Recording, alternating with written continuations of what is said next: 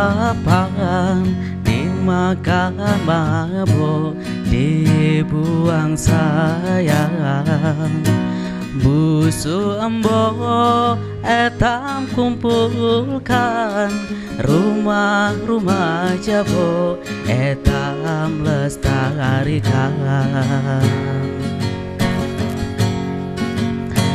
Puasa peram dimakan kelat dibuang sayang. Etam kumpulkan untuk menyambut wisatawan. Buat terong di gangannya mangan kut bana tolong panggangkan museum tenggarong mula mangan yodeng sana etam keranakan.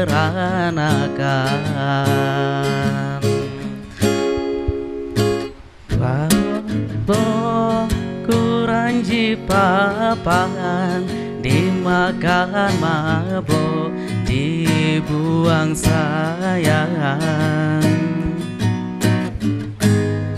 Etam lestarikan rumah-rumah jabo tam lestarikan.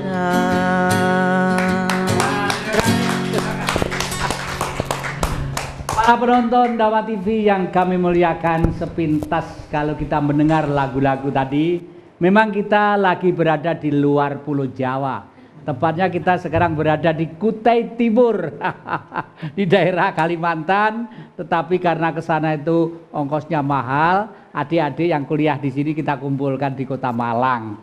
Ini adik-adik dari Paguyuban uh, Kutai Timur. Kutai Timur itu berada di daerah Kalimantan dan termasuk salah satu provinsi di Kalimantan Timur. Uh, kurang lebih luasnya Kutai Timur itu adalah 17% dari wilayah uh, provinsi Kalimantan Timur yang ber, berpenduduk kurang, uh, luasnya kurang lebih sekitar 35.747 km persegi. 35.747 km hanya berpenduduk kurang lebih sekitar 35.700 sekian gitu kurang lebih. Jadi setiap kilo kira-kira hanya dihuni penduduk kurang lebih sekitar 4.000. Nah, bagaimanapun pula Kutai Timur adalah milik kita semuanya. Seperti adik-adik sekarang ini juga harus merasa memiliki Pulau Jawa memilih Irian, memilih Aceh, memilih Sumatera karena mereka sebenarnya adalah kita. Hilangkan perasaan saya yang ada adalah kita.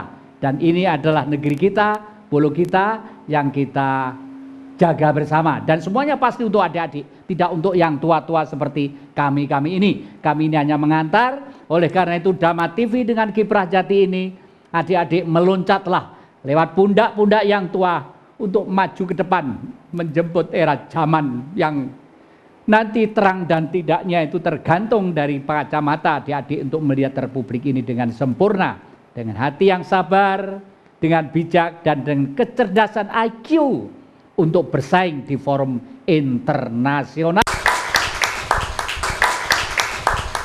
Penonton Dawa TV yang kami muliakan, uh, sudah barang tentu salam kami selalu tidak akan berubah. Semoga makhluk titah yang maha kuasa apa pun wujudnya yang kelihatan ataupun tidak kelihatan damai, sejahtera dan sejuk hidup bersama-sama bergaul dalam kearifan dunia ini di negara Pancasila yang namanya Indonesia. Nah, hari ini tidak akan disayang kalau kita tidak mengenalnya. Kita hari ini ingin mengenal sebenarnya ada apa sih dengan Kutai Timur itu?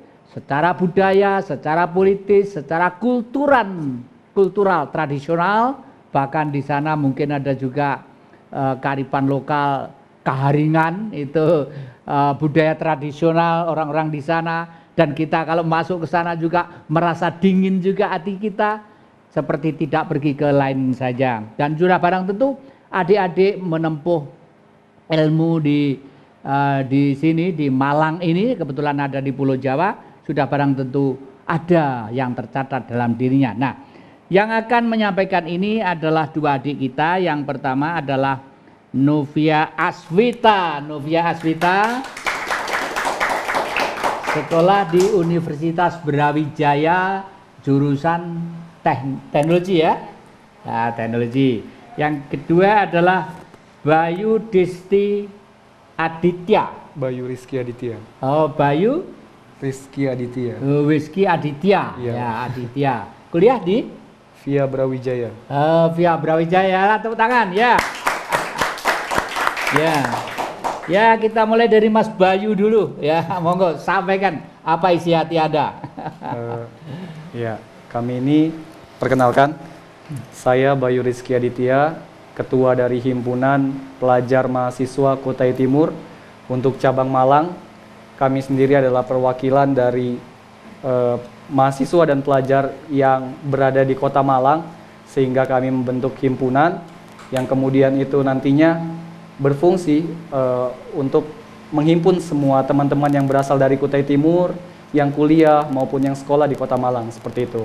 Dan eh, kami dari Kalimantan Timur kenapa bersekolah ataupun kuliah di Kota Malang itu karena kami memandang Pulau Jawa adalah salah satu tempat yang eh, masih memiliki nilai-nilai yang memberikan kami pendidikan untuk bisa lebih tinggi seperti itu. Karena kami merasa di sana, mohon maaf, penyediaan untuk pendidikan masih sangat kurang. Dan perekonomian juga sampai sekarang masih hanya berputar di Pulau Jawa seperti itu. Sehingga untuk pembangunan dan pemerataan masih belum sampai ke Kalimantan. Apalagi eh, untuk peningkatan kualitas pendidikan maupun kebudayaan itu juga sangat kurang seperti itu, Pak. Iya. Untuk kondisi Kalimantan sendiri eh, seperti yang kita tahu, pembalakan hutan, korupsi, kemudian penambangan batu bara, penambangan minyak, dan berbagai hal-hal lainnya itu masih sering terjadi. Dan tapi yang kami rasakan di sana, kami merasakan ketentraman seperti itu, Pak. Berbeda dengan di Pulau Jawa, karena mungkin orang-orang datang ke Pulau Jawa untuk mencari eh, peningkatan ekonomi, sedangkan kami di sana, walaupun juga eh, ingin mencari ekonomi, tapi apa ya masih saling menghormati satu sama lain. Tingkat kriminalitas juga di sana sangat eh, jarang kami temukan seperti itu, Pak. Ya. Coba bayangkan, adik-adik kita yang muda begitu sangat kritis dan jenius menganalisa sesuatu permasalahan. Memang nyatanya demikian. Mungkin di Pulau Jawa itu terlalu padat sehingga pikiran orang untuk berebut hidup kenikmatan material sampai-sampai kadang-kadang menghalalkan segala cara dan nabrak kultur budaya leluhur kita yang sebenarnya sangat hatiluhung. Saya juga patut mengucapkan terima kasih pada adik-adik dari Kalimantan ini karena waktu saya ke sana tahun 2002 itu saya dibawa di, eh, diiringi dengan kelompok-kelompok sampai ke Tanjung Selor sampai Berau sampai eh, Sangatta ibu kota Saman ya Sangatta ya? Waduh asik sekali. Dan rasanya tidak seperti di daerah lain seperti daerah sendiri. Bahkan eh, iri saya iri saya itu adalah orang-orang sana begitu sangat guyup begitu sangat terukum begitu sangat akrab dengan alam sehingga ketentraman dan kedamaiannya selalu ada. Nah, sekarang ke Mbak Novia ini, monggo sampaikan isi hati apa? Oke. Um, nama saya Novia Aswita. Uh, saya bersekolah eh, mahasiswa dari Universitas Brawijaya jurusan Teknik Planologi atau uh, Perencanaan Wilayah dan Kota. Uh, mungkin sebelumnya sudah disampaikan oleh teman saya Bayu. Uh, kita di sini semua berkumpul uh, dalam organisasi yaitu HIPMA KT atau Himpunan Pelajar dan Mahasiswa Kutai Timur yang gunanya berfungsi untuk eh, menyatukan kembali teman-teman kita dari Kutai-Kutai Timur itu. Eh, gunanya ya saling sharing juga tentang eh, apa selama kita di Kalimantan Timur dan kita di sini menuntut ilmu ya eh, apa eh, ingin mendapatkan hasil yang nantinya akan kita kembangkan lagi di wilayah Kutai Timur itu tersebut. Ya, ya. Ya. Kita mungkin semua tidak tahu termasuk saya juga tidak tahu. Sebenarnya yang tua-tua ini apa? Apakah yang dicari? Apa hanya kepentingan pribadi-pribadi kita? Apa kemewahan untuk keluarga, kelompok dan golongan? Coba bayangkan. Jernihnya adik-adik kita dan anak-anak kita. Muruman mukanya jernih-jernih. Masa depannya tetapi kelihatan masih suram. Karena mungkin yang tua itu tidak bisa membuat jembatan yang baik untuk mereka. Kita patut untuk mawas diri supaya generasi kita gambaran masa depan Republik kita yang tercinta. Nah, para penonton drama TV yang kami muliakan, asik juga kita bicara dengan anak-anak kita dari seberang yang menyatu dalam kesatuan Bhinneka Tunggal Ika kita itu. Oleh karena itu jangan ke mana-mana, masih dalam semangat Kiprah Jati. Ya, ya. Ampar, ampar pisang Pisangku belum masak Masak sebiji Di hurung bari-bari Masa itu namanya sudah terkenal dengan sejarahnya. Ada riwayat seorang putrinya. Anak bidadari Di mau mendengarkan.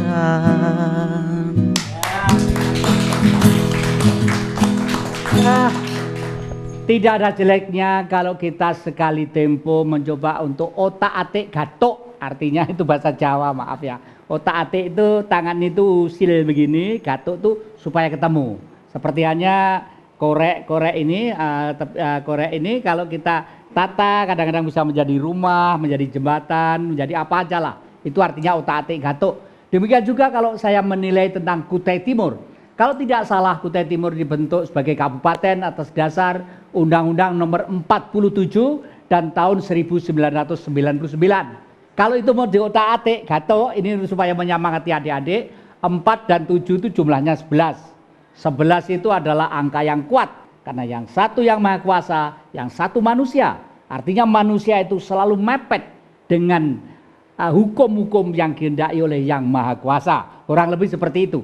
Oleh karena itulah sebabnya Pancasila ini yang teratas adalah ketuhanan yang Maha Esa. Dan Kutai Timur secara tidak langsung dengan Undang-Undang Nomor 47 ini sudah merupakan empat itu penyangga. Rumah itu loh penyangganya empat pasti kuat. Tujuh itu jumlahnya hari. Kenapa jumlah tujuh? Karena yang Maha Kuasa memang membuat sampai tujuh itu. Artinya sempurna sekali Kutai itu. Nomor 47 itu diputuskan tahun 1999 1999 angka yang paling besar entos setelah 9 artinya kembali nol artinya Kutai Timur dari pembentukannya dari nilai-nilai sejarah historis tahun dan angka undang-undangnya sangat kuat dan sangat sakral sekali. Nah, harus dijaga Kutai Timur sebagai wilayah yang yang yang salah satu wilayah Indonesia. Bila perlu Indonesia selamatkan dari Kutai Timur kalau ada kekurangannya kurang lebih seperti itu. Nah sekarang kita limpar ke adik-adik ini. Silakan mau mau usul apa ini? Mumpung mumpung Dama TV memberi kesempatan kepada anda ini. Monggo silakan. Ayo Eh, tanyakan sudah seberapa jauh peran serta dari himpunan ini kepada eh, masyarakat yang ada di Malang? Seperti itu.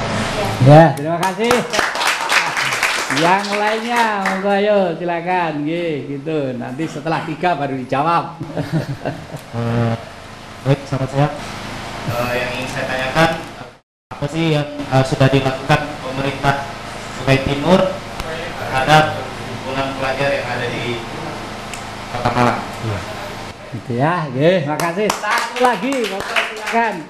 Cewek apa cowok? Oke, monggo. Terima kasih kesempatan yang diberikan. Mungkin pertanyaan saya singkat aja. Eh, harapan besar apa yang eh, teman-teman dari Kutai Timur ini yang akan dicapai untuk balik ke daerahnya lagi? Terus yang sekarang yang sudah baik atau sudah terbentuk sekarang di Kutai Timur tuh apa harus dirubah? Apa yang harus diperbaiki selanjutnya untuk membedakan antara Kalimantan dengan pulau pulau-pulau yang lain? khususnya Kutai Timur itu aja. Terima kasih. Ya, terima kasih. Dan sekaligus mungkin saya juga ingin bertanya itu maksudnya lambang-lambang itu apa Mas ya? Nanti lambang-lambang itu tolong diterangkan juga gitu ge. Eh terima kasih monggo Mas kami kami persilakan Mas Bayu. Oke. Bayu tuh ngerti artinya apa? Angin. Oh angin wah pinter ya. Sering masuk angin ini. Oh, enggak, Pak. Ayo silakan. Siapa duluan yang jawab ini? Ya. Oke. Eh, terima kasih. Saya akan menjawab terkait ke Hipmakatean. Dalam artian Himpunan Pelajar Mahasiswa Kutai Timur adalah sebuah himpunan atau organisasi yang mana mengumpulkan semua teman-teman yang berada dari Kutai Timur. Dan di sini bagusnya Hipmakate adalah tidak membeda-bedakan kamu orang Kutai Timur atau kamu orang apa tidak. Karena untuk Bapak ketahui dan semua teman-teman ketahui di Kutai Timur adalah sebuah daerah tempat perantauan. Banyak dari warga Kutai Timur yang pergi ke Pulau Jawa untuk menuntut ilmu, Pak. Nah, sembari seperti itu, sebagai bentuk pertanggungjawabannya adalah dengan membuatkan asrama. Dan juga kami setiap tahun dikasih insentif dana sebesar 50 juta. Untuk tahun kemarin 50 juta, namun tahun sekarang saya nggak tahu kenapa turun jadi 40 juta untuk kehidupan kami di sini. Nah, kontribusi kami terhadap masyarakat alhamdulillah sudah banyak. Semenjak berdirinya Hipmakate ini tahun 2000 pada 10 November eh, kami sudah banyak melakukan kegiatan kepada masyarakat. Eh, ada bakti sosial, mungkin ke depan lagi bisa lebih banyak. Dan kemarin eh, bentuk kegiatan kami adalah ke pasar besar, Pak, Eh, membawakan makanan, kemudian membagi-bagikan makanan kepada eh, apa orang-orang yang tidur di pinggir-pinggir toko gitu, Pak, seperti itu. Seperti itu dan mereka katanya berterima kasih sekali kepada kami.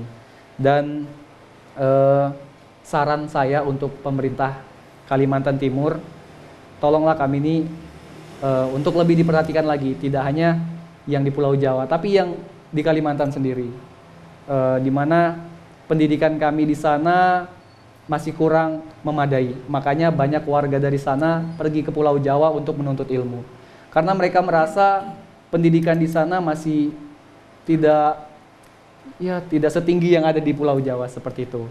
Kemudian untuk pembangunan saya kira eh, masih masih jauh ke depan untuk membangun sama seperti di Pulau Jawa.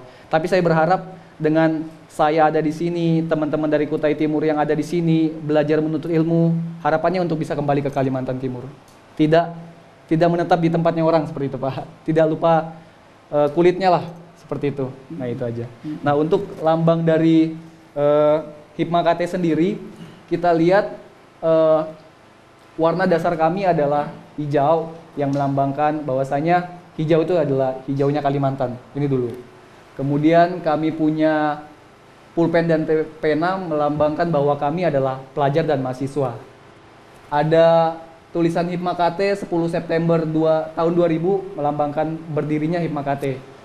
Dan ada tameng merupakan pelindung bahwasanya eh, kami ini himpunan pelajar mahasiswa Kutai Timur adalah pelindung bagi Kutai Timur itu sendiri di ke depannya seperti itu Pak. Tidak hanya untuk saat ini.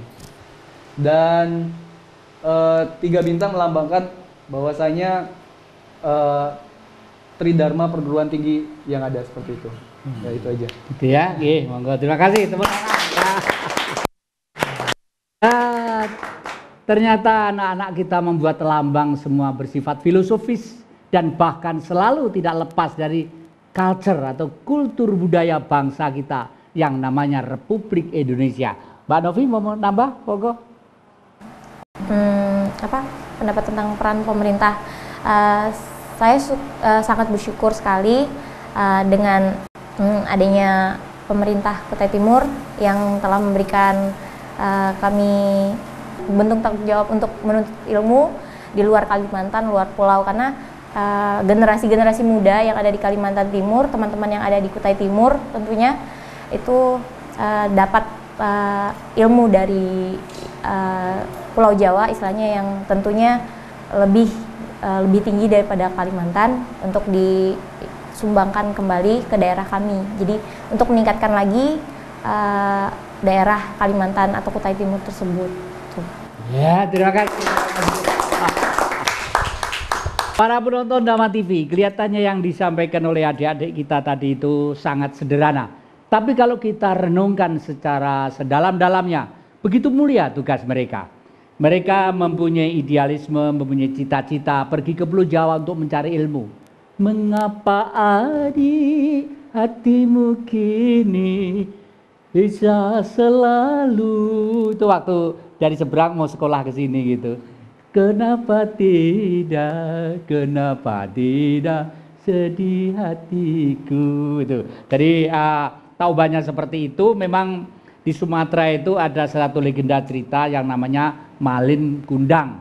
Malin Gundang itu sebenarnya adalah filosofis, suatu cerita bahwa suatu saat kalau anak itu lupa kepada induknya, itu disindir sebagai maling gundang yang suatu saat akan disabda menjadi batu. Artinya memang kita untuk mencerdaskan pikiran ini untuk membenahi negeri kita di mana pun kita berada. Di Sangatta, di Kalimantan Timur, di Berau, di Tanjung Selor, di uh, Tarakan dan sebagainya itu masih wilayah kita dan itu adalah Indonesia. Memang kita unik sekali Indonesia ini.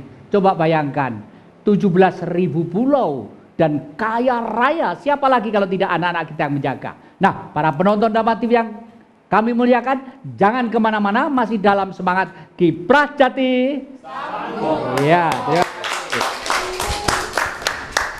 Ku bangku hanyut di air deras sungai Mahakam sungai muara oda etam put plana tulung panggang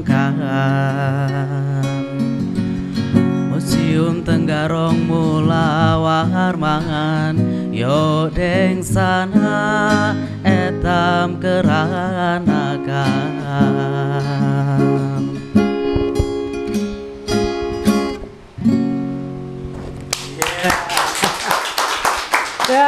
Saking enaknya sampai melamun saya ya. Ingat lagu-lagu bagaimana anak-anak sekolah. Teluk Bayur itu kan di Kalimantan juga ya. Selamat tinggal Teluk Bayur bermain itu ya. Artinya mau mau pergi sekolah ninggalkan Teluk Bayur di sana ya. Saya pernah ke sana juga. Memang masih begitu utuh dan adik-adik inilah yang yang akan menjaga kekayaan dunia berkali-kali kita umumkan lewat Dama TV.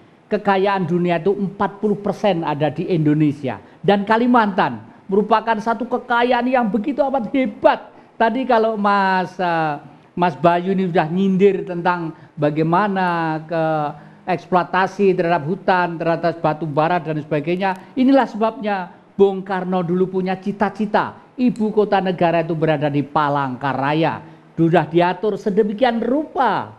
Karena apa? Sekaligus untuk menjaga Kalimantan dari kejailan kaum kapitalis, kaum eksploator, eksploator yang mengeksploitir alam kita semuanya sendiri yang suatu saat akan mengakibatkan penderitaan rakyat secara umum. Tapi memang sejarah harus demikian, adik-adik tidak boleh patah arang untuk itu. Bagaimanapun masa depan adalah masa adik-adik semua.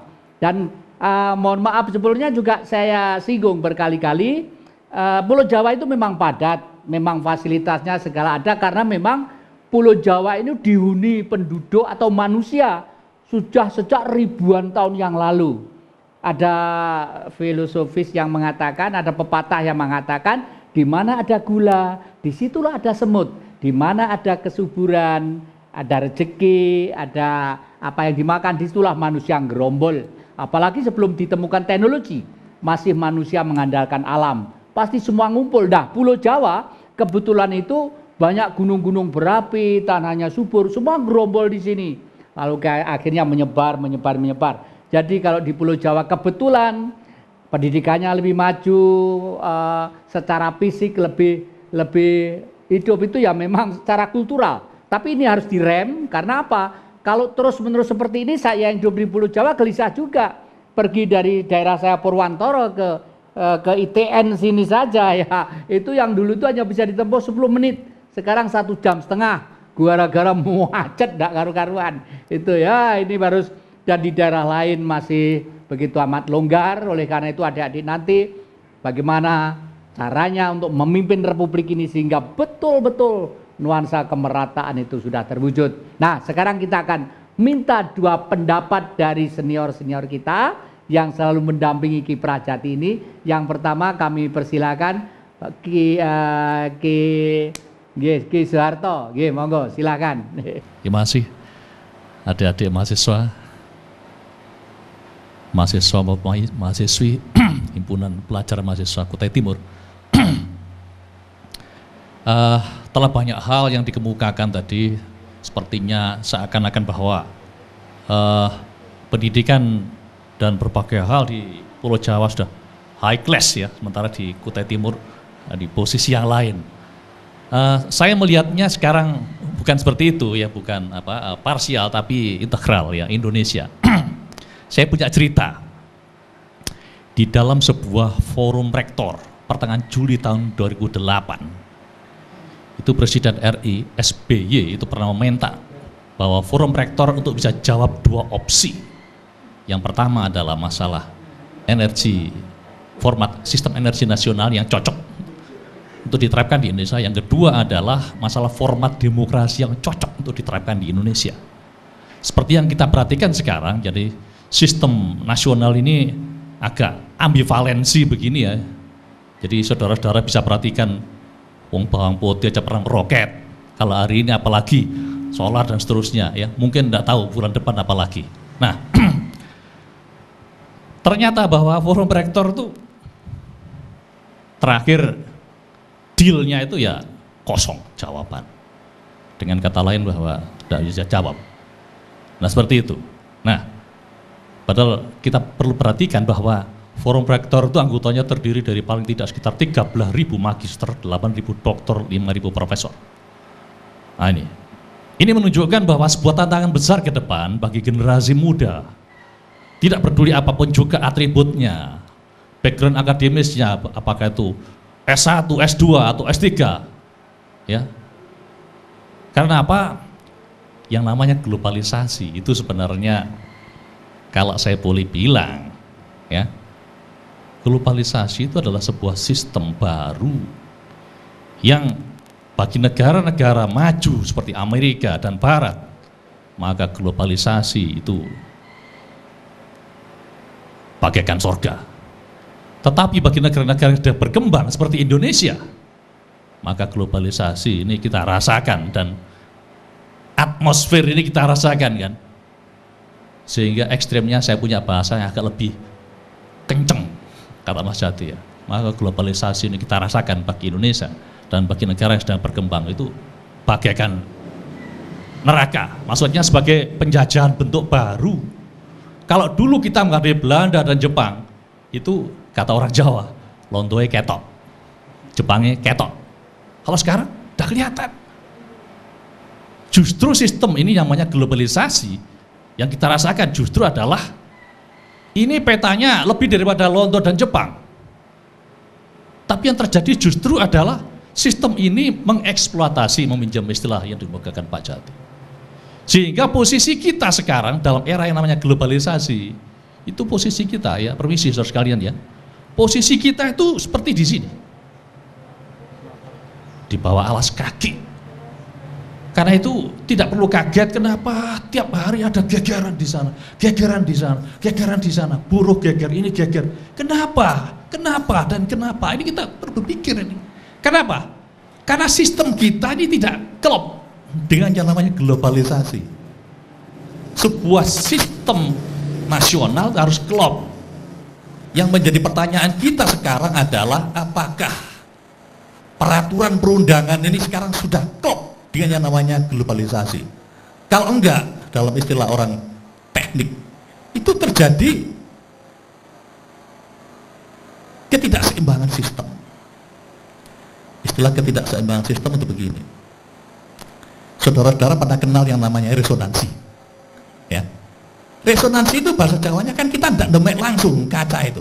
Tapi begitu ada su sumber suara di sini, dia bergetar di situ.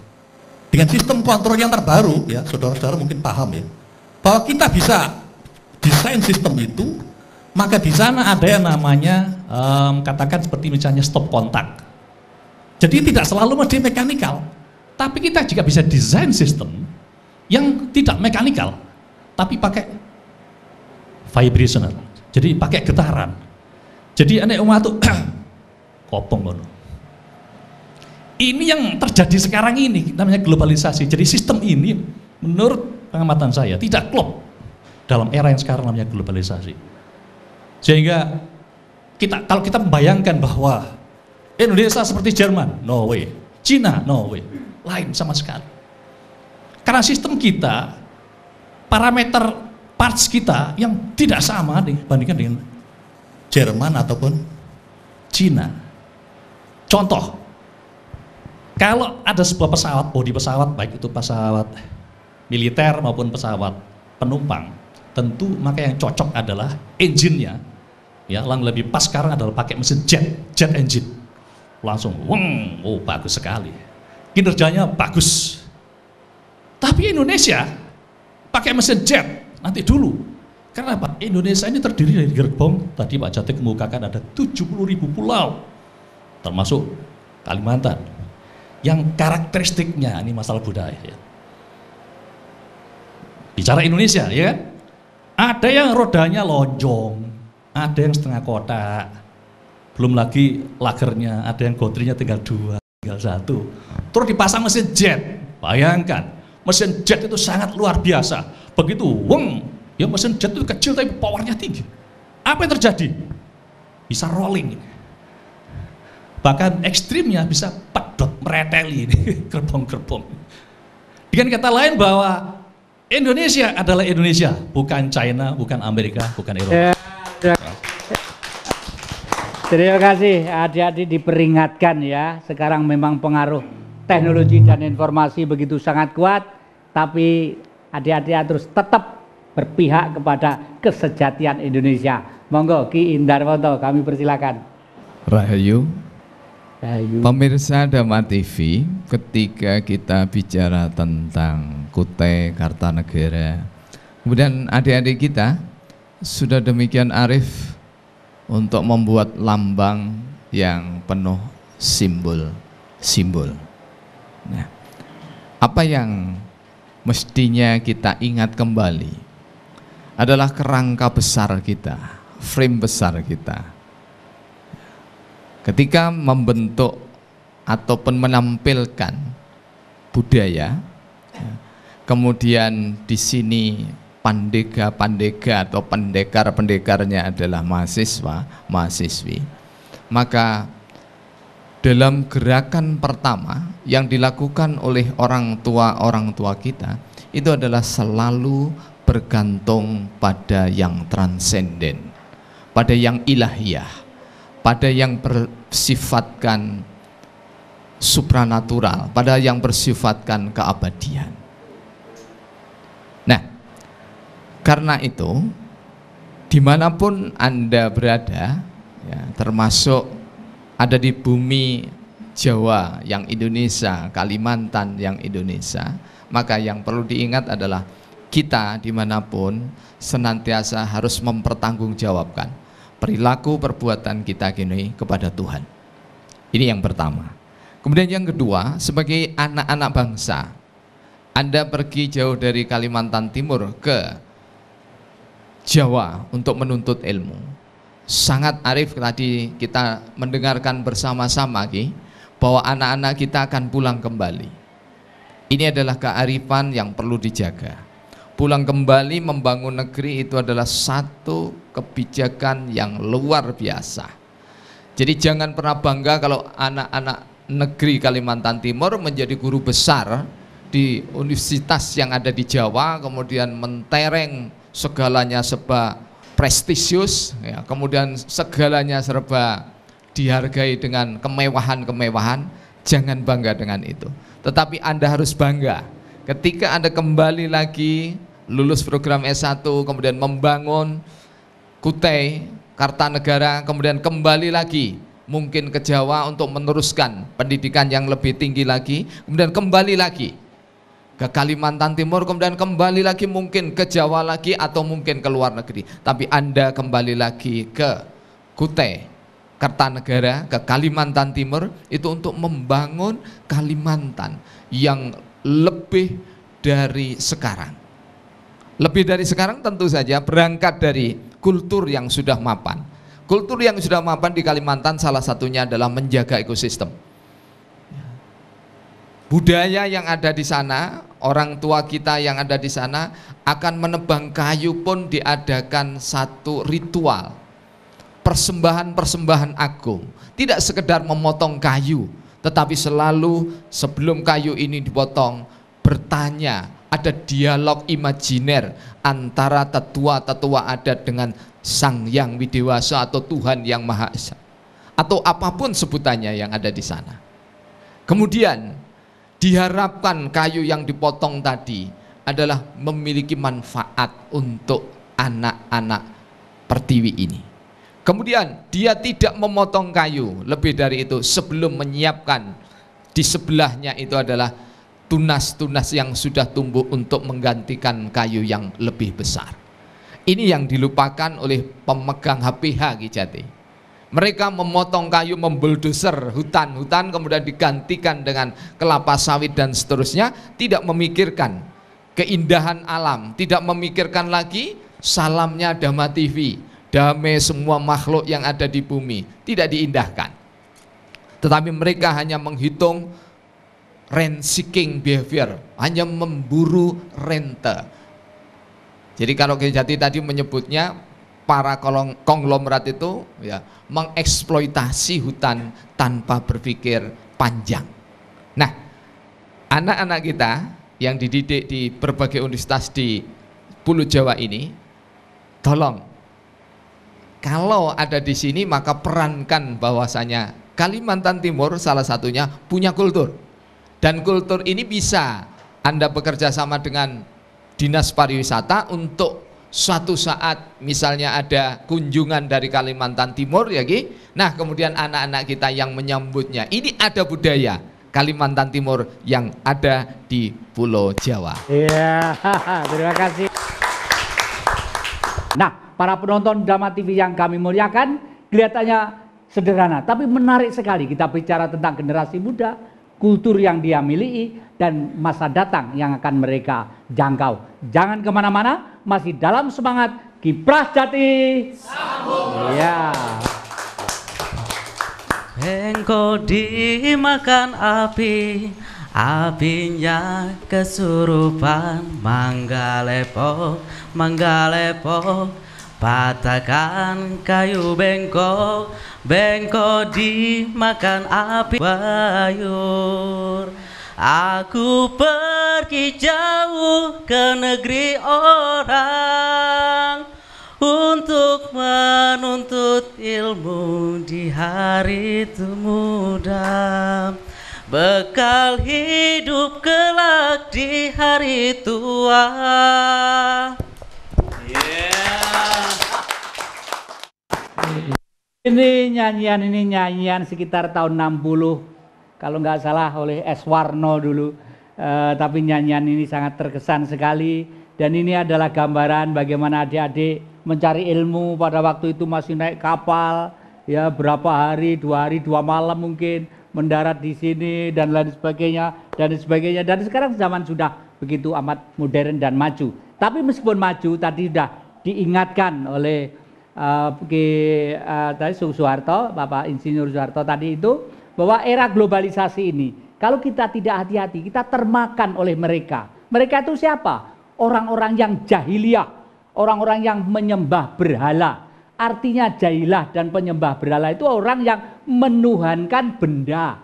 Benda itu adalah kekayaan. Kalau mengumpulkan kekayaan eksploitasi terhadap batu bara, nebangi kayu semaunya sendiri atau tapi untuk kepentingan pribadi dan kepentingan golongannya tidak demi kesejahteraan kemakmuran rakyat.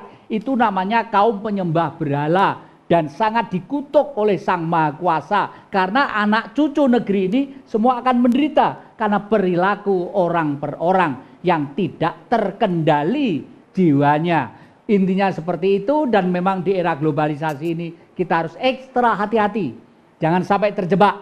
Bahkan dulu di zaman Belanda orang mengeksploiter atau uh, istilahnya itu uh, memasukkan modal sewa tanah. Itu mungkin hanya sekitar 35 sampai 40 tahun.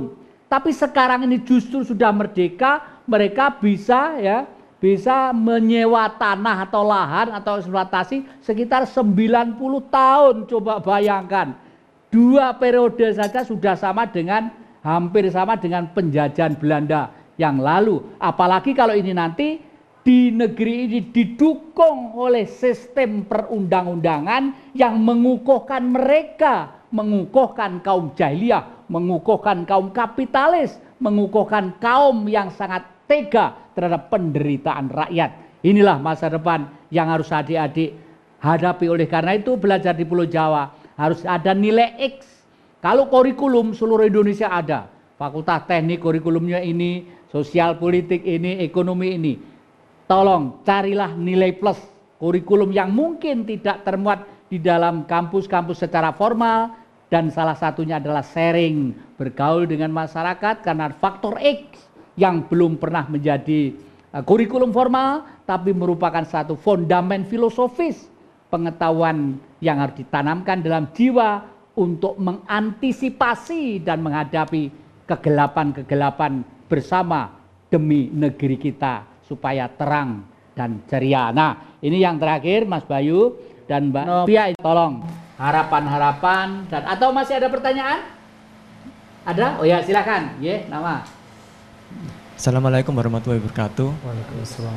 Uh, perkenalkan sebelumnya nama saya Sastro. Saya sendiri juga merupakan lulusan dari Teknik Mesin ITS.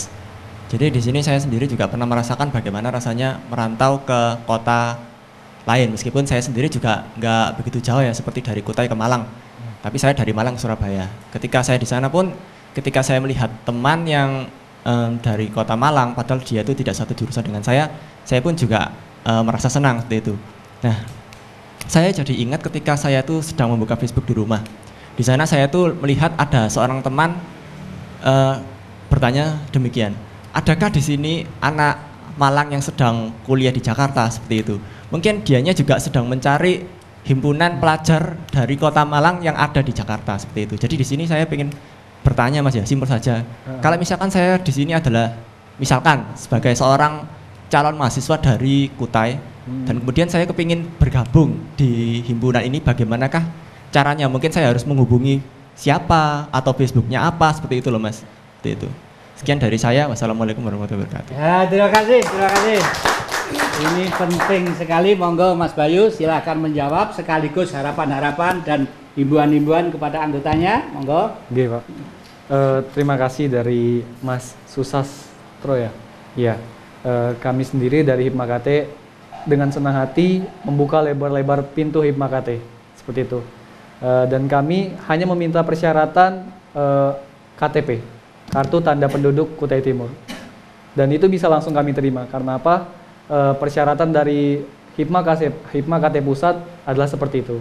Hanya menunjukkan KTP, kemudian pernah bersekolah di sana dengan menunjukkan mungkin hasil raport e, sekolah di SMA, insya Allah bisa kami terima. Asalkan dari sendiri-sendiri masih cukup kapasitasnya untuk menampung teman-teman semua. Seperti itu. E, dan kami juga insya Allah akan meminta bantuan kepada pemerintah lagi karena kami sendiri dari pelajar Kutai Timur hingga saat ini berjumlah sekitar 160-an orang Pak. Dan kami hanya diberikan dua rumah ini dan itu tidak cukup. Ya harapannya ke depan bisalah ditambah untuk lebih banyak lagi agar bisa menampung teman-teman yang dari luar agar tidak terlantar di kota Malang seperti itu. Ya. Dan harapan saya kepada semuanya, kepada pemirsa Dama TV, yaitu khususnya yang orang-orang perantauan seperti kami. Kita ini adalah eh, perantauan, mahasiswa, pelajar yang belajar di kota orang. Maka dari itu, ingatlah amanah dari orang tua kita, ingatlah amanah dari Tuhan kita. Nah, harapannya itu selalu bisa dijaga. Yang mana ketika kita menjaga itu semua, insya Allah ke depannya akan lebih baik. Itu yang pertama. Yang kemudian eh, kita sebagai mahasiswa, sebagai pemuda memang memiliki ideal idealitas yang tinggi. Namun jangan hanya kita mengkritik. Marilah kita membuat sebuah eh, aksi yang nyata. Karena apa? Banyak sekarang mahasiswa berdemo, menuntut pemerintah dan itu hanya mengkritik. Tapi bukti nyatanya tidak ada. Seperti itu. Dan itu harapan saya semoga bisa membuat aksi nyata, tidak hanya mengkritik pemerintah. Dan yang ketiga, mari kepada teman-teman semua, kita bersekolah atau menuntut ilmu di kota orang, harapannya mencari bekal yang setinggi-tinggi mungkin, bekal yang sebanyak-banyak mungkin, yang nantinya dapat kita gunakan sebagai bekal untuk membangun daerah-daerah kita di sana. Daerah kita agar bisa berkembang seperti Pulau Jawa, dan kemudian eh, kesejahteraan bisa merata untuk Indonesia. Dan yang terakhir, kita manusia adalah pemimpin dan setiap pemimpin akan dimintai pertanggungjawabannya. Oleh karena itu, amanah tadi, bekal tadi yang kita dapatkan di sini harapannya bisa kita pertanggungjawabkan di kemudian hari. Itu saja Pak dari saya. Ya, terima kasih. Ya, Mbak Sofia. Eh, eh, mungkin eh, saya menambahkan saja dari saudara Bayu. Eh, kita di sini eh, sebagai perantau yang dari luar Pulau Jawa. Jadi eh, alangkah baiknya eh, kita tuh saling menjaga dan tetap mempertahankan kultur yang sudah kita miliki, kebudayaan gunanya untuk eh, menyatukan kembali dari luar Pulau Jawa yang akhirnya menetap di sini atau yang kembali lagi ke ke apa pulau masing-masing dengan membawa apa pengalaman-pengalaman yang menjadi pelajaran bagi kita semua. Uh, jadi alangkah baiknya selama kita di sini kita tuh tetap menjunjung namanya apa? Di mana bumi berpijak. Di mana kita berpijak di situ langit kita junjung. Jadi walaupun kita dari uh, budaya yang berbeda, tapi kita tetap Indonesia yang satu. Ya, terima kasih. Tadi ada yang belum dijawab kelihatannya. Tadi kalau pengen menghubungi bagaimana, ke mana gitu? Oh gitu. Eh, kami punya eh, situs jejaring sosialnya, mungkin bisa langsung dibuka di Hipma KT Cabang Malang, ataupun bisa langsung datang ke sekretariat kami di Jalan Bendungan Sempor nomor 17A. Seperti itu Pak. Ya, gitu ya. Siap. Terima kasih. Ah, para penonton sama TV yang kami muliakan, memang hari ini sangat sederhana. Tapi kesederhanaan hari hari ini kelihatannya merupakan bintik-bintik putih yang mungkin akan mewarnai republik ini apabila kita sadar untuk mencernanya. Coba bayangkan, mereka tadi itu mengatakan bahwa di kandang kambing kita mengembik, di kandang ayam kita berpetok, dan lain sebagainya di kandang kuda kita meriki. Artinya, dan inilah memang eh, dawuh ya dalam bahasa Jawa itu dawuh atau firman ya dari yang maha kuasa. Kalau yang maha kuasa itu makanya sekali tempo belajar bahasa Jawa itu baik ya, bukan kok harus Jawaisme tidak. Karena misalnya dengan aku ditimbali, kalau di sana bahasa krama ada nggak? Krama, bahasa kromo yang lebih halus, halus, halus, halus gitu. Ah, ulun pian. Ya. Ulun pian. Ya ada, ya. Jadi saya pikir se- setiap setiap wilayah itu pasti ada. Dan di Jawa ini sebenarnya juga pengen bisa menghayati, memahami budaya keharingan dan kami malah pulang dari sana memberi oleh-oleh pada istri saya bedak yang ini tempelkan sampai ini kayak topeng gitu. Ternyata memang di kulit itu cantik-cantik seperti adik-adik saya yang ada di sini kuning-kuning dan bagus-bagus bersih-bersih. Nah itulah. Dan memang kita ini negeri kita itu adalah negeri surga. Oleh karena itu dengan ilmu pengetahuan dengan IQ yang tinggi dengan kecerdasan marilah kita elola bersama siapa kalau tidak kita kita jangan sampai terlambat dan jangan sampai kita terhimbau oleh kamuflase yang kelihatannya ilmiah tapi ilmiah itu dalam tanda petik hanya seakan-akan menjongkokkan kita saja Berkali-kali kita ingatkan, coba bayangkan. Jahe itu bahasa bahasa Latinnya kalau menurut ilmu pengetahuan ya di pertanian ada namanya apa gitu. Di sana itu tidak ada jahe, tidak ada apa-apa. Loh kok bukan punya nama Latinnya? Apa nggak sama dengan maaf ini menipu kita? Kenapa kita mesti ragu-ragu memakai nama istilah leluhur kita? Leluhur kita membuat istilah tidak ngawur dan semua kita bisa pecahkan dengan bahasa aksara itu yang rasional dan ilmiah. Tapi jangan khawatir, adik-adik masa depannya masih sangat gemilang. Para penonton Dama TV yang kami muliakan, Dama TV dengan kiprah Jatim masih menerima uluran tangan, pikiran, dan kesinambungan kita yang sambung rosok demi Nusantara atau Indonesia yang tercinta. Nah, jangan ke mana-mana, masih akan ketemu setiap hari Minggu jam 7 sore, akan diulangi hari Senin jam 12 siang, masih dalam semangat kiprah jati. Iya, terima kasih. Puasa udah diperam Dibuang gelat Dibuang sayang. Sepupu deng sana Etam kumpulkan Untuk menyambut wisatawan. Buat terong di gangan nyaman